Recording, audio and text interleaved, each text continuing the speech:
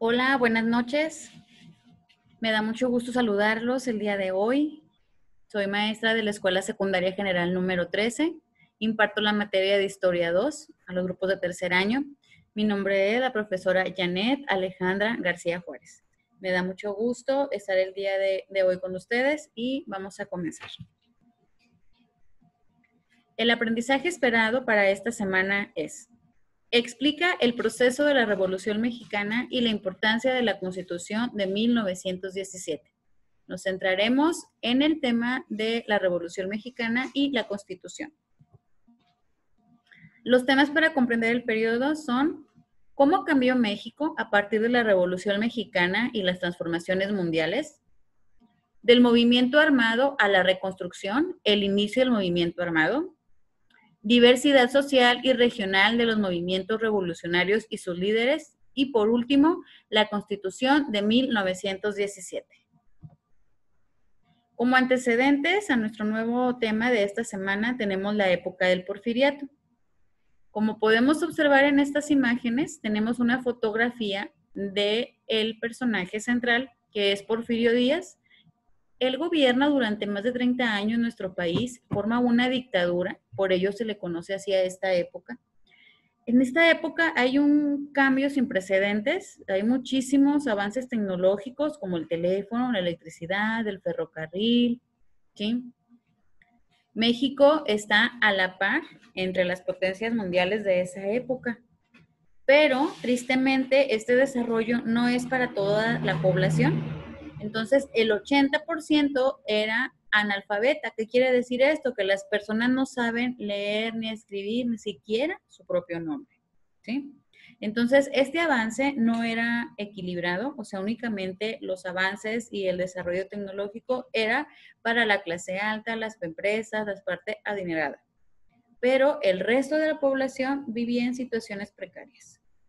Dentro de esta época, como podemos ver aquí, tenemos la imagen del Palacio de Bellas Artes que está en la Ciudad de México y el Ángel de la Independencia. Estos son algunos de los muchos complejos arquitectónicos que se realizaron durante el porfiriato. Porfirio Díaz es el que manda a construir el Palacio de Bellas Artes. Él no va a concluir su obra, ¿sí? Porque pues se tarda más de 20 años, pero él fue el que lo mandó a hacer, o sea, el que diseñó, pidió, trajo a las personas. Y el Ángel de la Independencia se hizo también en esta época para conmemorar los 100 años de la independencia de México.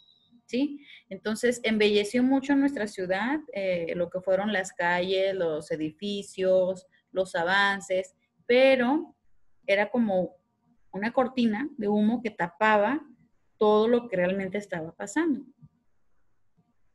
Porfirio Díaz pensaba que México no estaba listo para una democracia y por eso él se reelegía como presidente.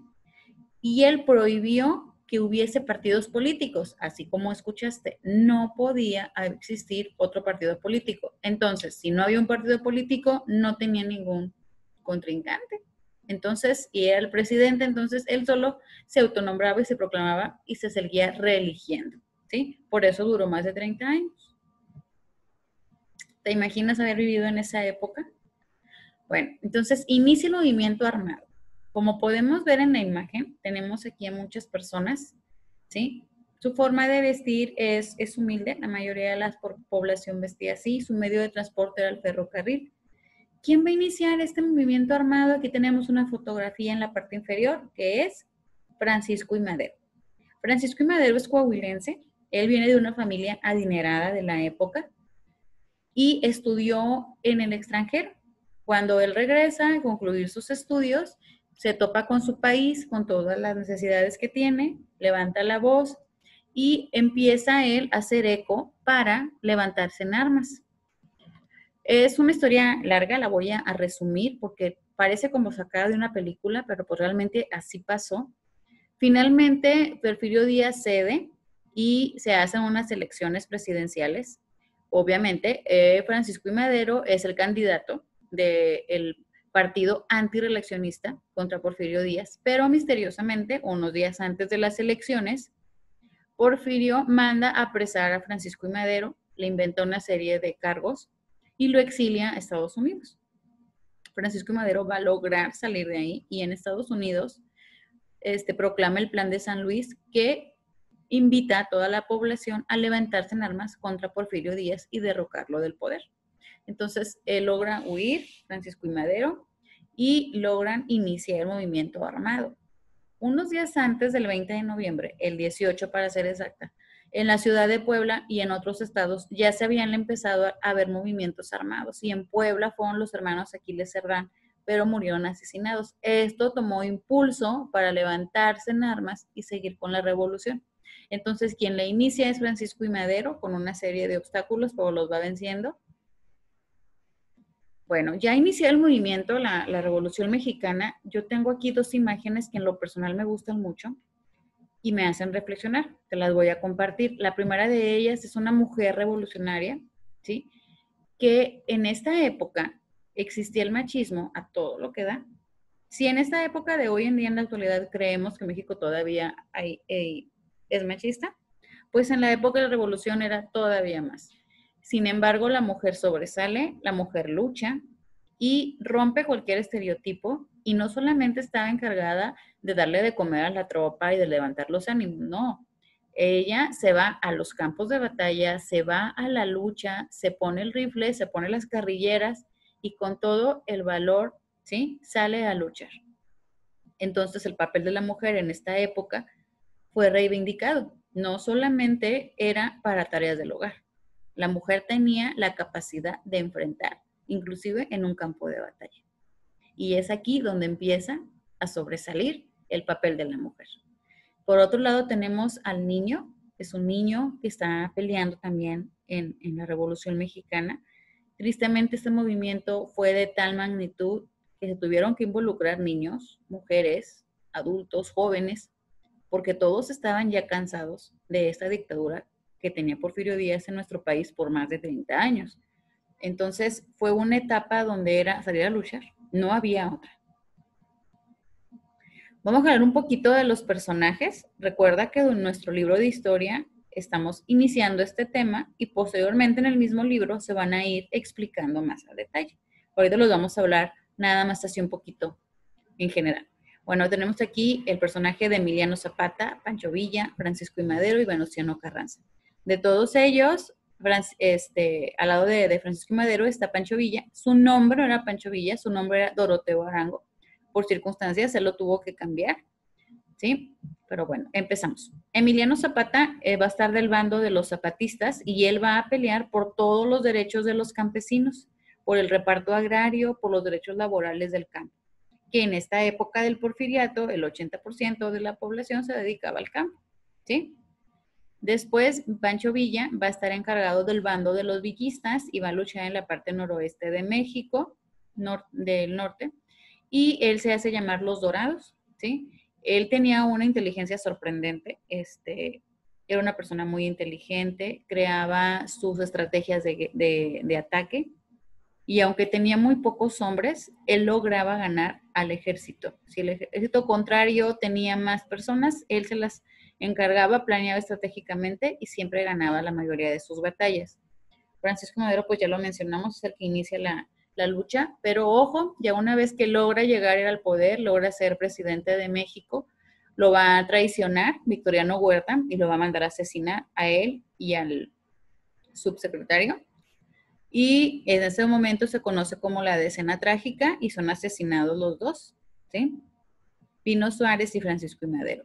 Acá abajito tenemos este, este señor de, barba y bigote, Venustiano Carranza, él, su ejército, en el, su bando, va a ser el de los carrancistas y él va a pelear por una constitución, ¿sí? Nuestra revolución va a tener diferentes etapas, no es una lucha fácil porque recordemos que inicia el 1910 y termina el 1917, entonces son siete años de diferentes etapas. Y estos son los personajes que van a destacar un poco más. Como consecuencia más positiva de la Revolución Mexicana tenemos la Constitución de 1917. Con ello se sella la lucha y quedan plasmadas todas y cada una de las demandas que se peleaban. ¿Sí? Entonces, después de tener 30 años con un gobierno dictador, con un gobierno que oprimía, con un gobierno que tenía una cortina de humo y hacía general de que no pasaba nada. Bueno, viene la constitución y quedan plasmados todos nuestros derechos, todas nuestras obligaciones, todas nuestras leyes, lo que nos hace ser un país, nuestra Carta Magna. Y desde 1917 no hemos tenido otra constitución. Claro, se le han hecho reformas, se le han hecho adecuaciones, pero es la misma constitución de 1917, ¿sí? Y es lo que nos hace ser un país, ¿sí? Democrático, un país constitucional, un país libre, ¿sí? Dentro de esta constitución hay innumerables artículos, pero yo te voy a mencionar tres que durante esta época fueron de mayor este, reflexión, de mayor importancia. ¿Por qué? Porque señalaban las tres principales luchas por las cuales se hizo la Revolución Mexicana y por las cuales se quitó del poder a Porfirio Díaz. Una de ellas, eh, de los artículos más importantes, tenemos el artículo tercero, que es referente a la educación. Establece el tipo de educación que se impartirá en el país, la cual será laica, gratuita, democrática y nacional. En este artículo, la educación es para todos y debe de ser gratuita. Retomemos que en esta época del porfiriato, el 80% de las personas eran alfabetas. ¿sí? Es por eso la importancia de este artículo. Y también pues va a ser laica, o sea que no se va a impartir religión católica o cualquier otra religión en la, en la educación. El segundo artículo importante tenemos aquí es el artículo 27. Este pertenece a la nación, las tierras, aguas y recursos naturales comprendidos dentro de los límites del territorio, ya sea debajo o encima de la tierra, regula el manejo de la tierra y recursos de la nación. ¿sí? Este artículo es especialmente para los campesinos. El regular, ¿sí? La tierra, el defender sus derechos. Recordemos aquí que había un personaje que iba a luchar por los campesinos. ¿Se acuerdan quién era? Exacto, Emiliano Zapata. Entonces, este artículo se logró gracias a él. ¿sí? Otro artículo es el artículo 123, pero en esta época se conoció como el artículo 1, 2 y 3. Recordemos que la mayoría de las personas no sabía leer escribir, entonces recordar este artículo era más fácil decirlo como artículo 1, 2 y 3. Este artículo nos menciona que toda persona tiene derecho al trabajo digno y socialmente útil. Al efecto, se promoverán la creación de empleos y la organización social de trabajo conforme a la ley. Este artículo comprende todo lo referente al ámbito laboral. En la época del porfiriato, aunque ustedes no lo crean, no existía un día de descanso para los trabajadores. No había un sueldo que pagar. Las condiciones podían ser inseguras y no pasaba nada. Entonces, en esa época, ¿sí? Las personas podían trabajar, como luego dicen, de sol a grillo, muchas horas extras no se les pagaba, inclusive su propia familia tenía que ir a ayudarles y obviamente pues no recibían ellos un pago, ¿sí? Entonces, en esta época no existía ni el día de descanso, ni el salario, ¿sí? Ni un sindicato que protegiera los derechos de los trabajadores. Entonces, este artículo vino a reformar mucho, mucho, mucho la situación, porque pues económicamente México en esa época era una una estabilidad, una política, una, pues sí, una nación empoderada. Pero sus trabajadores, sí, pues no era así. Entonces viene este artículo y reforma todo. Chicos, llegamos a las actividades. Tenemos dos actividades. La número uno es con ayuda de las notas que tomaste durante esta explicación, vas a completar un esquema que te voy a yo a presentar más adelante vas a agregarle más apartados e información con apoyo de tu libro de texto. Y vas a realizar dibujos o vas a pegar recortes de revistas a tu esquema para darle una mayor explicación y para que nos quede más claro al observar las imágenes. ¿Sí? Entonces, con todo lo que fuiste tomando nota de esta explicación, de este video y con lo de tu libro de texto, vas a complementar ese esquema en tu cuaderno y le vamos a agregar esas imágenes. La número dos es preguntar a tus padres o hermanos mayores qué modificaciones realizarían al artículo 123 de la Constitución, que habla sobre los derechos laborales. Aquí en tu familia, vas a empezar un debate con ellos para ver qué le agregarían o qué le cambiarían a ese artículo de acuerdo a las necesidades que tenemos actualmente en el ámbito laboral. Aquí se abre ese debate entre tus padres y, y contigo acerca de lo que hemos visto Y ya tus conclusiones las vas a escribir en tu, en tu cuaderno y nos vas a explicar tu respuesta de por qué le cambiarías o qué le reformarías a ese artículo. Este es nuestro mapa conceptual, el que tú vas a realizar como nuestro producto 1. Si te puedes dar cuenta, este, tenemos en el centro lo que es el, el título y alrededor tenemos diferentes subtítulos y un espacio para que tú vayas poniendo las ideas principales. Está incompleto porque obviamente ya te expliqué, tú lo vas a ir complementando con lo que yo te expliqué en el video y con lo que vas a leer en tu libro de texto. Tenemos cinco apartados, tenemos uno, dos, tres, cuatro y cinco. De estos cinco apartados, uno está sin nombre, tú le vas a dar el título y vas a colocar obviamente aquí las ideas principales, ¿sí?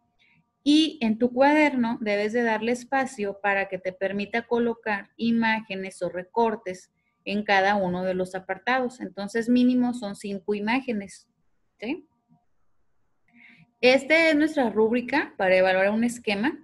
Tenemos diferentes criterios, ¿sí? Todo trabajo tiene una forma de evaluar, en este caso es un mapa conceptual, un esquema. Tenemos el criterio de enfoque, que viene el tema principal, que se coloca en el centro, y de ahí salen las ramificaciones para explicar los subtemas. Las palabras clave, que se van a manejar conceptos, frases cortas, ¿sí? Y se van a diferenciar la palabra clave de la secundaria con diferentes colores, recuadros u otras formas. Y la organización, o sea, los elementos que componen el mapa conceptual se encuentran organizados de forma jerárquica, o sea, qué acontecimiento pasó primero, cuál acontecimiento pasó después. Entonces, en el esquema no están organizados los, los apartados, sin, los están organizados por orden jerárquico, cuál pasó primero y cuál pasó después. Como puedes ver en la rúbrica, eso te puede dar puntos para obtener calificación excelente, notable, bueno, suficiente y desempeño insuficiente. Esperemos que todos nos encontremos en el excelente y en notable. Para ello te dejo aquí la rúbrica para que tú te vayas guiando y sepas qué es lo que te va a evaluar. También tenemos unas ligas de apoyo para que tú en tu casa este, las estés visitando no voy a contarte mucho de ellas para que sea sorpresa, te voy a hablar de manera muy general. En la primera, que es el INEGI, tenemos mapas de rompecabezas, tenemos juegos de mesa y otro tipo de juegos para repasar tanto lo que es el mapa, la ubicación geográfica, como temas de historia, ¿sí? La segunda es la página de saber más de mi clase. También aquí hay unos juegos increíbles, la verdad. Entonces te invito a que los visites, no te cuento mucho para que sea sorpresa y claro que son para la edad de ustedes, adolescentes de secundaria. Acá tengo otra liga que es la del Conalitec. Esta liga es para que ustedes descarguen sus libros de texto. Si por alguna razón no tiene su libro de texto, lo puedes descargar en PDF de manera virtual en esta página. Y por último, tenemos la página del Zarape, que es una página estatal, ¿sí? Y tiene muchísimos recursos, tanto juegos, tanto este, contenidos, todo esto, todo lo referente a nuestro sistema educativo estatal, ¿sí? Entonces es la de Zarape y viene desde lo que es el preescolar hasta la preparatoria. Entonces te invito a que visites estas cuatro ligas. Chicos, pues hemos llegado al final de esta presentación. Le doy las gracias por su atención prestada a esta explicación. ¿sí? Les mando un fuerte abrazo. Recuerden que, que la escuela no está cerrada. La escuela la conformamos cada uno de ustedes y los maestros. Entonces, como seguimos trabajando, la escuela está abierta, solo que ahora se trasladó a tu casa. Te mando un fuerte abrazo y recuerda, pronto saldremos de esto.